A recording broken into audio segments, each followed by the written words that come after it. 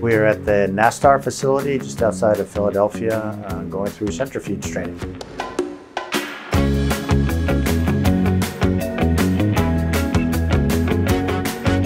During each stage of the flight, you are not just only a passive passenger, you are uh, controlling, heading and, and handling with the, with the system.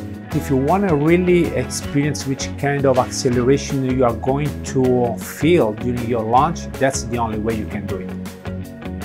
Here, they're adjusting it so we can experience and try how it feels like in the x-axis. What's difficult to do in a centrifuge like this, I think, is uh, the deployment of the parachutes because uh, I can feel, I can really feel the turn uh, when you get those uh, NZs.